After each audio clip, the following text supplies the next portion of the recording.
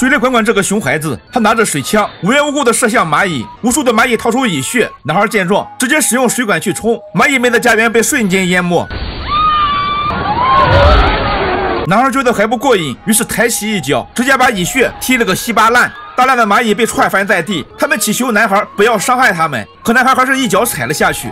他叫小杰，经常被隔壁胖虎欺负。由于身材矮小，他不敢反抗，只能把心里的怨气通通发泄到了蚂蚁身上。蚂蚁巫师怒了，他研制出变小药水，要让小杰付出代价。黑夜里，趁着小杰熟睡，蚂蚁们偷偷潜进房间，巫师站在他的耳朵上，然后把药水倒了进去。当小杰再次醒来，已经变成了蚂蚁般大小，他的内裤也比他大了几百倍。就在这时，巫师突然出现，小杰吓坏了。他便带走了小杰，一路翻山越岭，来到了蚁穴。巫师直接把他推了下去。最终，小杰掉在了毛毛虫面前。蚂蚁们把小杰带到了会议大厅，要对他进行审判。由于小杰经常摧毁他们的巢穴，蚂蚁们纷纷吵着要吃掉他。这时，蝴蝶翅膀缓缓展开，以后出现在了众人面前。对于小杰的恶行，以后说出了自己的想法：要吃掉小杰很简单，但这并不能保证不会出现下一个熊孩子。所以他决定要让小杰学会如何当蚂蚁，只有感同身受，才能让小杰对生命产生敬畏。这时，宝儿从蚁群站了出来，他愿意当小杰的导师。就这样，小杰跟着宝儿学习如何成为一只蚂蚁。首先要小心玻璃折射的阳光，因为温度太高，一不小心就会灰飞烟灭。不仅如此，还要随时提防蜜蜂的攻击，稍一不注意就会成为它们的食物。蚂蚁们非常团结，即便自身弱小，也能举起巨石砸向空中的蜜蜂。一只蜜蜂落在了小杰面前，宝儿及时推开了它，自己却陷入了困境。小杰吓坏了，他丢下宝儿，独自跑向了草丛，但一只蜜蜂却对他紧追不舍。小杰拼命的逃跑，一不小心撞到了一颗鞭炮上，他急中生智，利用玻璃碎片点燃鞭炮。就在这时，蜜蜂跟了上来。利用尖刺攻击小杰，结果蜜蜂一不小心扎进了鞭炮里，蜜蜂们被鞭炮声吓坏了。就这样，小杰成了蚂蚁们的英雄。他们带着小杰来到纪念馆，里面的壁画记录了蚂蚁们的发展史，而壁画馆的最里面是蚂蚁之母的画像，是他创造了蚂蚁。就在这时，小杰注意到旁边的画像，马也没告诉他那是吞云魔，只要有他的地方就会带来死亡。小杰认出了画像的人，正是白天给他搭讪的灭虫专家，而且还给他签了合同，要消灭这里的蚂蚁。小杰必须尽快阻止他，而唯一的办法就是回家打电话取消合同。于是小杰带着蚂蚁们回到了家，但他现在只有蚂蚁般大小。蚂蚁们打起退堂鼓，但小杰却没有放弃。看着面前的花朵和风扇，让他有了主意。他们把花瓣当成滑翔伞，利用风扇的动力把它们吹到了空中。没过多久，他们就来到了厨房。小杰跑到电话面前，然后在电话上跳来跳去。终于，他成功拨通了电话，但电话的另一头却是一个披萨店。电话那边的老板正在撩妹，根本没有听清小杰的话。就在这时，姐姐来到了厨房，他们赶紧藏了起来。但有一只蚂蚁还是不小心被姐姐发现，姐姐拿起电话直接砸向蚂蚁，幸好她身法灵巧，这才躲过一劫。最终，他们有惊无险地回到了蚁穴。当巫师得知小杰带着蚂蚁们冒险，他十分生气，怒冲冲地赶走了小杰。这个小男孩在河边遇到了一只昆虫，还热情地跟他打招呼。小杰洗了一把脸，结果下一秒那只昆虫竟然消失不见。小杰有点不知所措。可就在这时，河里冒出了一双大眼睛，一只青蛙跳了出来，它不停地攻击小杰，一个蛙跳拦住了小杰的去路。小杰吓坏了，赶紧拼命逃跑。在半路上，他遇到了蚂蚁同伴，他们爬上一个易拉罐，但小杰还没有学会攀爬。结果下一秒被青蛙一口吞进了肚子，而此时青蛙的肚子里已经有了三只虫子，它们无计可施，只能乖乖等死。小杰也彻底绝望了。就在这时，巫师也掉了进来，他是来救小杰的，手里拿的正是催吐的药。没过多久，青蛙胃里一阵难受，把它们全部吐了出来。看到这一幕，这只苍蝇高兴坏了。结果下一秒，小杰和巫师成功脱险，他们一起回到了蚁穴。通过这次冒险，小杰也认识到了自己以前犯下的错误，而巫师也选择原谅他。就这样，他们的矛盾就此化解。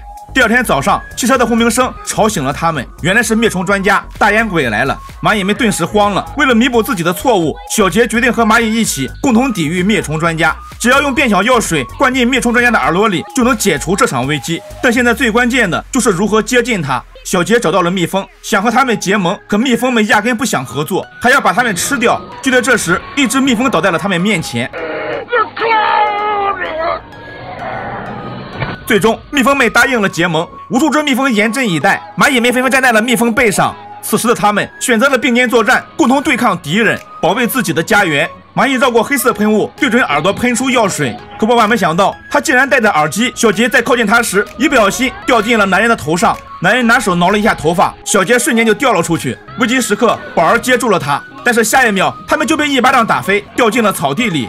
蜜蜂受了重伤，倒地不起。宝儿也被蜜蜂死死压住。只见他举起蜜蜂，把宝儿救了出来。紧接着，他们跑向一个木桩，但攀爬一直是小杰的弱项。黑烟瞬间吞没了小杰。正当蚂蚁巫师和宝儿担心时，小杰成功爬了上来。他终于战胜了自己，但眼前的危机还并未解除。就在这时，小杰把药水涂在蜜蜂尾部，趁着男人露出破绽，药水直接扎了进去，男人瞬间变小，无数的蜜蜂飞了出来，把男人扎得抱头鼠窜。最终，他们赢得了这场战斗。而小杰也得到了蚂蚁们的肯定，巫师给了他变大药水，把他变回了正常大小。经过这次冒险，小杰再也不是任人欺负的小杰了。面对胖虎的欺负，他没有再退缩，而是勇敢的面对，还成功策反了胖虎的小弟，赶走了胖虎。为了回报蚂蚁的教导，小杰把糖果撒到蚁穴。最后，他也明白一个道理：对所有生命都要敬畏，即便自己再弱小，也要勇敢的面对困难。而最关键的就是别惹蚂蚁，她是创造世界的女神，不仅让大地有了生机，还让人类过上了富足的生活。然而就在这天，一个贪婪的人类竟然偷走了她的海洋之心，导致她性情大变，变成了一只火焰魔。为了惩罚人类，她要摧毁自己所创造的一切。就在人类生死存亡之际，一个女孩的出现唤醒了仁慈的女神，她就是宝儿。小时候因为救了一只小海龟，宝儿就被大海选中，成了拯救世界的希望。他的一个手势就能让大海为他开路。不知不觉，宝儿已经走出了十多米。就在这时，海水居然站了起来。宝儿好奇地看着海水，大海也歪了歪脑袋，为宝儿做了一个新发型，还给了他一块发光的石头——海洋之心。从此，宝儿便非常向往大海，但每次奔向大海都会被族长父亲阻拦。时间一天天过去，宝儿也长成了大姑娘。原本衣食无忧的生活，却在这天被打破。岛上的椰子全部干枯腐烂，而岛上的渔民再也抓不到一条鱼。为了解决食物问题，宝儿建议出海捕鱼，可是没想到却遭到了父亲的强烈反对。原来，父亲曾带着好朋友偷偷出海，可没过一会儿，平静的海水变得汹涌，木筏被摧毁，而父亲的好朋友也在那次海难中葬生。从此，他便禁止族人出海。但宝儿为了族人的生存，还是决定出海寻找原因。他坐上木船，滑动着船桨朝大海驶去。可刚走没多远，一个巨浪来袭，拍翻了木船，宝儿也掉进了海里，而他的脚被珊瑚牢牢卡住。危急时刻，他捡起一块石头砸坏了珊瑚，这才捡回一条命。而这一切正好被奶奶看到，奶奶把宝儿带到后山，告诉了他祖先的秘密。原来他们的祖先是航海者，曾征服过一片片海域，找到了许多适合生存的地方。可直到这天，半神杰哥偷走了海洋之心，释放出了火焰魔，海里的怪物被释放，吞没了他们的船只。从此，祖先们禁止了航海，所有的船只都被封存起来。然而，恶魔的诅咒已经蔓延到了整座小岛。奶奶告诉他，只要找到杰哥，把海洋之心还回去，就能平息这场灾难。大海选中了宝儿，去完成这个使命。为了族人，宝儿扬帆起航，瞒着父母踏上了征途。可刚走没多远，他就遇上了暴风雨。宝儿的木船很快就被击沉。当他再次醒来的时候，已经来到了一座孤岛，而这里正是杰哥的家。这个男人在孤岛上被困了一千多年，而受困的原因是他偷走了海洋之心，释放出了火焰魔。正当他驾船准备逃离时，火焰魔拦住去路，无奈之下，他只好正面对抗。一阵白光之后，他的鱼骨法杖和海洋之心全都掉进了海里。这天，宝儿终于找到他。杰哥误以为宝儿是他的粉丝，在他的船桨上签了名，但宝儿却拿起船桨直接拍在他肚子上。原来，当初杰哥偷走海洋之心，导致所有小岛被黑暗吞噬，而唯一补救的办法就是归还海洋之心。可杰哥却丝毫不关心，还把宝儿骗进洞里，独自驾船离开。本以为万无一失，但宝儿很快找到了出口，他朝着木船飞奔，然后纵身一跃。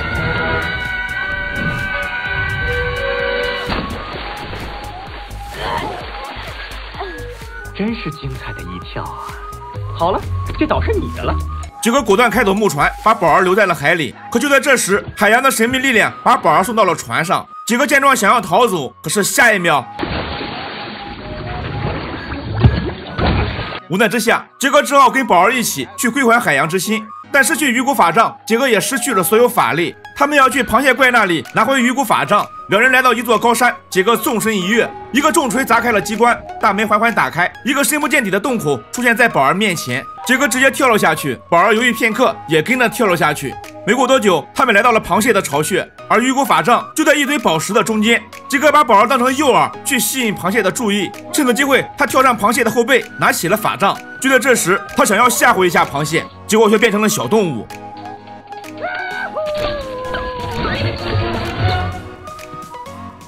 由于失去法杖太久，法力也不如以前了。曾经的半神沦落到被一只螃蟹欺负，关键时刻，宝儿用发光的海藻做了一颗假的海洋之心，吸引了螃蟹的注意。然后他跑到螃蟹背上，拿走了杰哥的法杖。当螃蟹反应过来时，两人已被水柱冲了出去，而那只螃蟹被冲了个四脚朝天。经过反复的练习，杰哥的法力逐渐恢复，慢慢的，他已经能够随心所欲变换出各种动物。接下来就是穿过火焰山归还海洋之心了。可万万没想到，火焰魔挥出一拳就把他们打出几百米远，而杰哥的法杖也出现了裂痕。男人被一巴掌拍进海里，他变成了一条鲸鱼，咬住了海洋之心。紧接着，火焰魔扔出巨石，差点砸中杰哥。他再次变身，保护了海洋之心。宝儿驾驶着木船想从夹缝中穿过，杰哥想要阻止宝儿，但宝儿却一意孤行。就在这时，火焰魔挥出重拳，杰哥用法杖挡住，可强大的力量再次把他们冲出几百米远。虽然两人并未受伤，但杰哥的法杖却出现了裂痕。我说了让你掉头。法杖是天神的恩赐，如果再受重击，将会彻底失效。他把海洋之心还给宝儿，然后变成老鹰离开了木船。这时，海面上泛着一道白光，奶奶的灵魂出现在宝儿面前。她鼓励宝儿一定要坚持下去，要像祖先一样勇敢地征服大海，这样才能造福后代。在奶奶的鼓励下，宝儿重拾信心，决定独自挑战火焰魔。就在快要靠近时，宝儿跳向船头，改变行驶方向，躲过了火焰魔的攻击。火焰魔紧追不舍，宝儿利用烟雾成功躲过追击，进入了峡谷中。看到这一幕，火焰魔瞬间暴怒，伸出了巨掌。危机时刻，杰哥变成老鹰，撞断了火焰魔的手臂，然后他又变成一条鲸鱼，拍出巨浪挡住了火焰魔。杰哥使出回音解术，变换出各种动物，为宝儿争取时间。眼看宝儿就要上岸，火焰魔扔出了火球。危急时刻，海浪站了起来，替宝儿挡下攻击，还把宝儿送上了岸边。宝儿费力的攀爬，浑然不知危险来临。就在这时，杰哥也顾不得许多，即使失去法杖，他也要挡下这致命一击。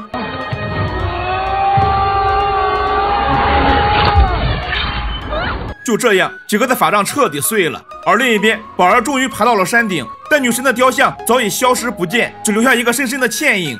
宝儿转过头，看到了火焰魔胸口的铭文，与海洋之心的铭文一样。他终于明白，于是高高举起了海洋之心，耀眼的绿色光芒让火焰魔情绪稳定下来。此时的宝儿已经来到岸边，让他过来吧。海水左右分开，火焰魔飞奔而来，但宝儿丝毫不惧，迈着沉稳的步伐，勇敢地站在石头上。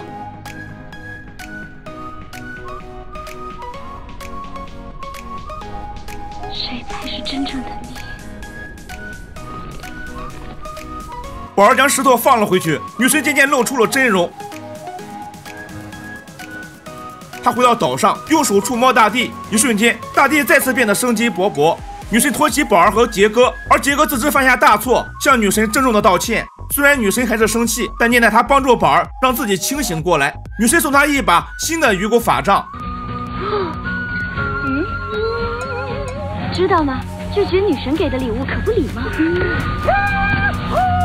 宝儿成功唤醒了女神，从此海面不再汹涌，而族人们又恢复了航海者的身份。宝儿带领着大家继续在广阔的大海寻找着适合生存的岛屿。你绝对想不到，小时候的济公居然给公牛吃辣椒，结果插进了鼻子里，下一秒黑牛瞬间暴走，直接猛冲过来。济公见状不妙，拔腿就跑，可小镇的村民却遭了殃，他们也被黑牛撞得七零八落，桌椅板凳全成了碎片。济公慌不择路，一头撞到了父亲身上。你个没长眼的！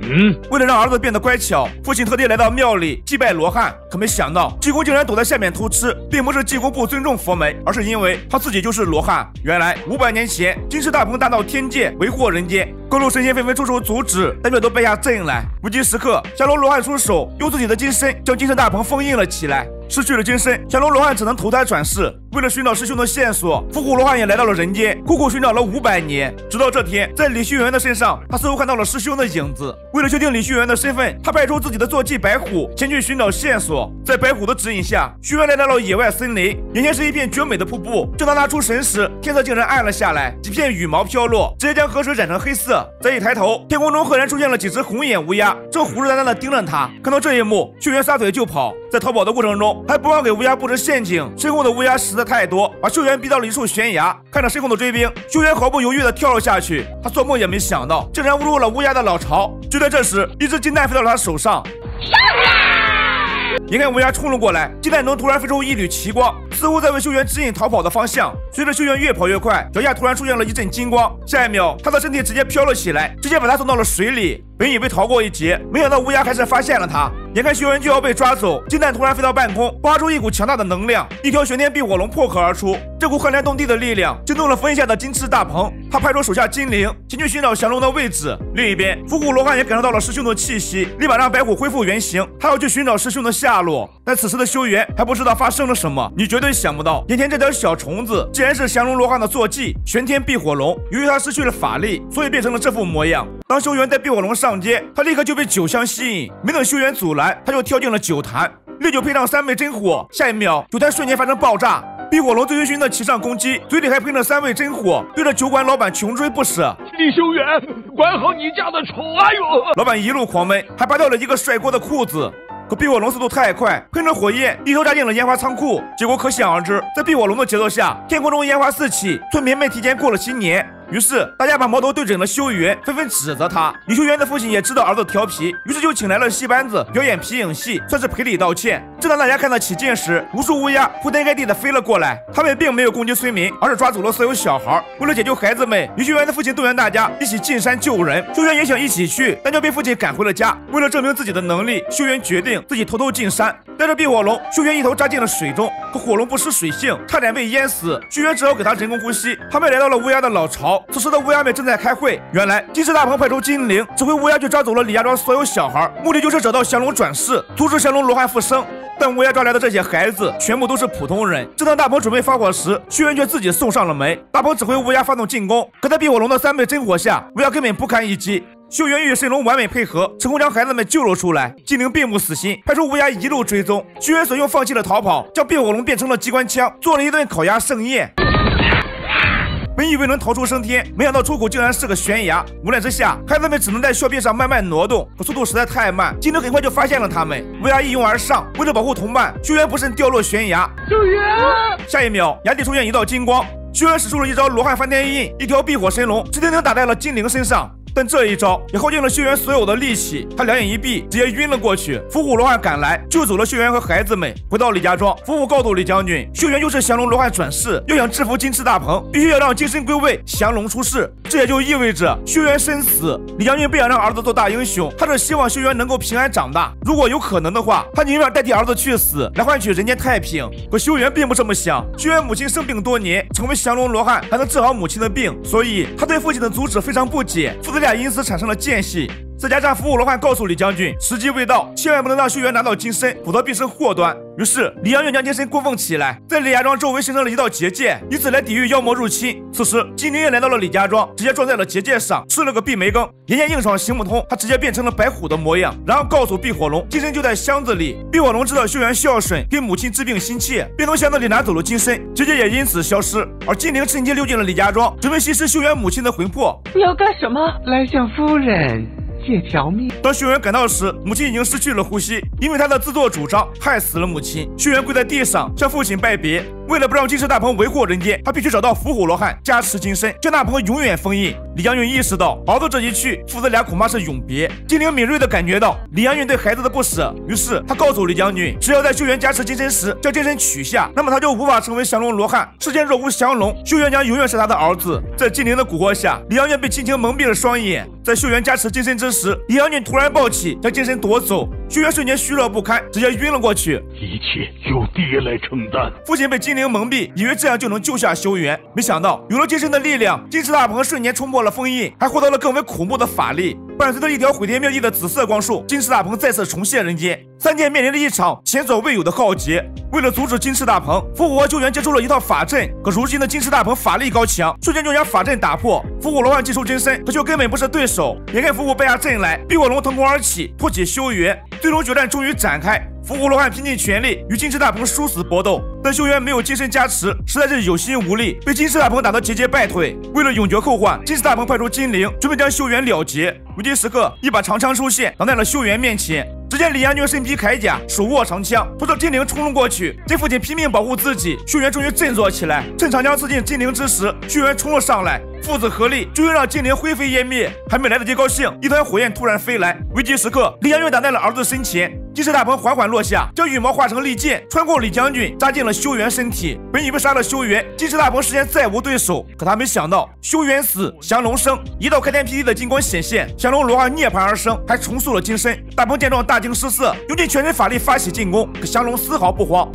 罗汉翻天印，一只铜天巨手落下，直接将大鹏打回了原形。金翅大鹏睁开双眼，身躯变得无比庞大，跟我比大。金光瞬间将大鹏笼罩，伴随着一张巨大的金蒲扇落下，金翅大鹏直接被打成了小菜鸡。三剑的浩劫彻底被降龙化解。此时，伏虎走了过来，可降龙已经习惯了人间的生活，决心化身活佛济公，造福人间。从此，天上少了一位降龙罗汉，而人间多了一位破衣活佛。你绝对没有见过这么丰盛的早餐，多汁的苹果馅鸡腿，美味的火鸡烤土豆，还有五颜六色的马卡龙。可国王一插子下去，马卡龙竟全都跑了。只见其中一个钻进面条里，下一秒面条竟变成怪物站了起来。他往前一跳，直接捆住了厨师，再用力一甩，将国王绑在了凳子上，然后骑着烤鸡飞出了城堡。等侍卫赶到时，这一桌子美食已经成功绑架了国王，大家只好寻求魔法部的帮助。原来这个国家的魔法师都在他们的监视之下，可这次他们找遍所有角落都没有发现线索。没办法，魔法部只好派出顶级特工宝儿彻查此事，并给他找了个帮手，就是他的魔术师弟弟杰哥。什么？我完全没有办法忍受他。原来宝儿从小就是学霸，长大更是成为了魔法部的顶级特工，而杰哥则是大名鼎鼎的江湖骗子，经常凭借小把戏赚得盆满钵满。因此宝儿十分看不起他。但他不知道的是，杰哥一直拿赚来的钱救济穷人，而魔法部找到他，正是看中了他的骗术和善良的内心。为了解救国王，二人只好合作。经过仔细的研究，特工终于在马卡龙中发现了一种魔药，于是二人决定从马卡龙的原材料入手。很快，他们就锁定了一家甜品仓库。宝儿认真的搜寻踪迹，而杰哥却悠闲的烤起了火。就在这时，杰哥伸手一摸，发现这原来是魔法火焰。壁炉的后面居然隐藏着一个密室。就在这时，突然出现了两个拥有生命的蛋糕小人。杰哥刚要上前，却惊动了守仓库的大狗。杰哥被追得四处逃窜，而趁机溜进密室的宝儿瞬间惊呆了。这里全部都是禁忌魔药，而他要找的那瓶就在架子的最顶端。他使劲爬上梯子，但怎么都够不到。就在这时，门外的大狗突然闯了进来。他咬入梯子，宝儿一个没站稳，打翻了所有的魔药，